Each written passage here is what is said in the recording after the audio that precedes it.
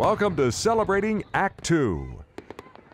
Celebrating Act 2 is the user manual for the second half of your life.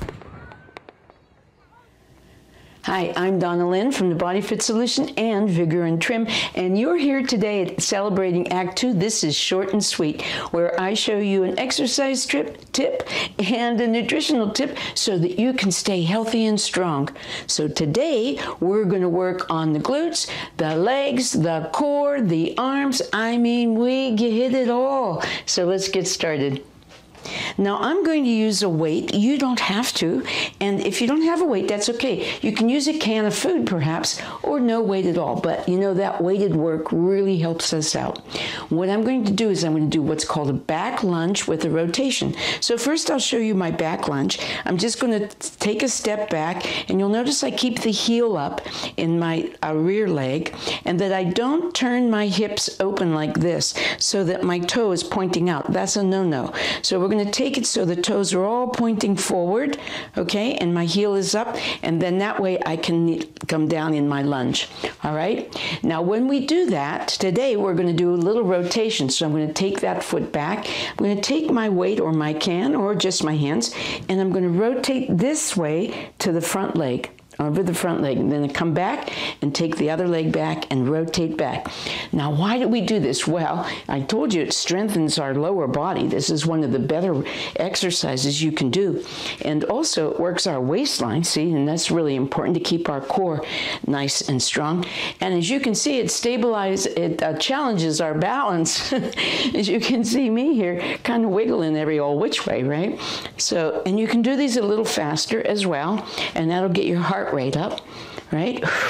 And going into that back lunge helps your knees a little bit better. They're a little bit easier to do. Now, this is a functional movement which means you'll be able to do your daily activities with much more ease and comfort. Now, our nutritional tip today is about Raphanus sativus. What's that? well, it's about radishes. okay, now you know these little bulbs of different shapes and colors are full of nutrition. You would be so surprised at how much they have to offer you lots of potassium, and they're really good agents for detoxifying that blood and kicking out the uh, toxins. Yeah, so it's really good for that.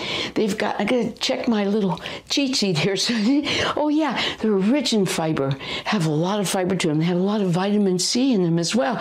And no fats, low in carbs. I mean, come on. It's really yummy too. Now you can put them in sandwiches and salads. You can roast them, which I found out the other night, and pretty yummy. And you can grill them too. So these guys help lower that blood pressure. They help uh, enhance the liver function. They keep diabetes away. They are really full of all kinds of goodies. So why don't you put some of those guys on your plate today? All right, now you know why I do this to keep you looking good and feeling good and moving well. And that keeps you active throughout your life. So I want to thank you for watching us today and come back to see us next week at Short and Sweet. For more on Celebrating Act 2, visit our webpage, follow us on Facebook, subscribe to us on YouTube, and tell your friends. Celebrating Act 2 is the user manual for the second half of your life.